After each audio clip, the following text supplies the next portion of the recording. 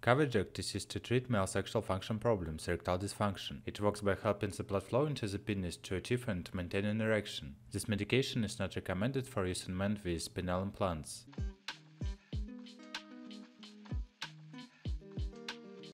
Indications Caverject is a prescription medicine used to treat the symptoms of erectile dysfunction, impotence. Caverject may be used alone or with other medications. Caverject belongs to a class of drugs called prostaglandins genitourinary.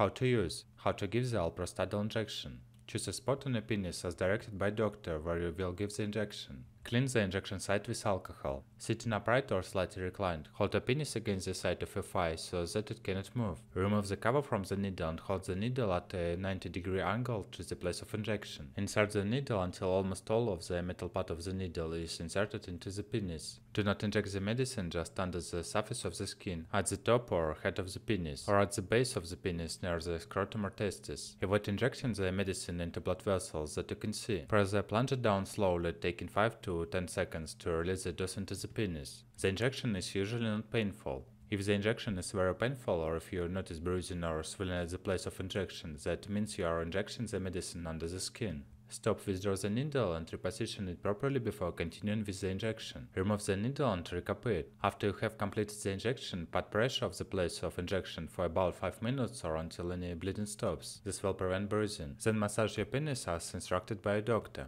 This helps the medicine spread to all parts of the penis so that the medicine will work better. Choose a different place of injection each time you use the medicine to prevent skin problems. This includes switching the place of injection from the right side of the penis for one injection to the left side for the next injection.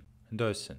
For the treatment of erectile dysfunction, for injection dosage form. Adults 1.25 to 60 micrograms as a single dose once a day. Your exact dose will be determined by a doctor. Inject this medicine very slowly into your penis as shown to you by your doctor 10 to 30 minutes before intercourse. Allow 5 to 10 seconds to completely eject the dose. Do not inject more than one dose within 24 hours. Also do not use this medicine for more than 2 days in a row or more than 3 times a week.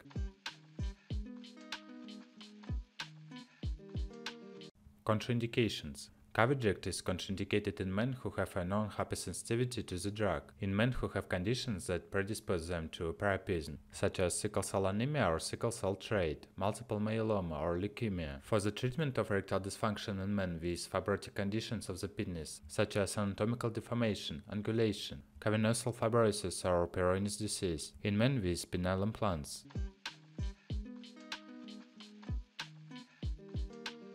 Precautions before using alprostadil, tell doctor or pharmacist if you are allergic to it or if you have any other allergies. This product may contain inactive ingredients which can cause allergic reactions or other problems. Talk to your pharmacist for more details. Before using this medication, tell doctor or pharmacist your medical history, especially of penis conditions such as angulation, fibrosis, scarring, Peyronie's disease, blood system cancers such as leukemia, multiple myeloma, sickle cell anemia. Use of this drug does not protect against sexually transmitted diseases such as HIV, hepatitis B, gonorrhea, syphilis. To decrease your risk of infection, always use an effective barrier method such as a latex or polyurethane condom during all sexual activity. Consult a doctor or pharmacist for more details.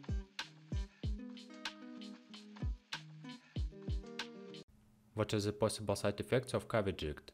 An erection that will not go away, priapism, deformed penis shape, penile fibrosis, blood pressure, hypertension, injection site bleeding, increased risk of heart problems, benzyl alcohol toxicity,